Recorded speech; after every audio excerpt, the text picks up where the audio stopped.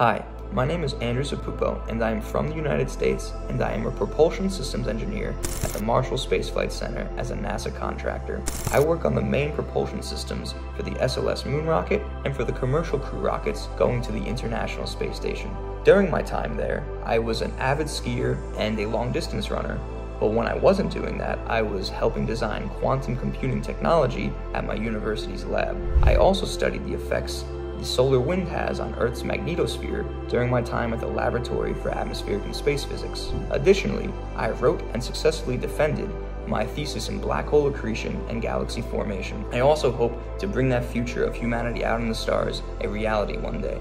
And to do that, we need more people involved in the space industry. So if you want to learn more about the work I do and how people with various types of backgrounds can get involved in this industry, please join me in the SpaceVrse.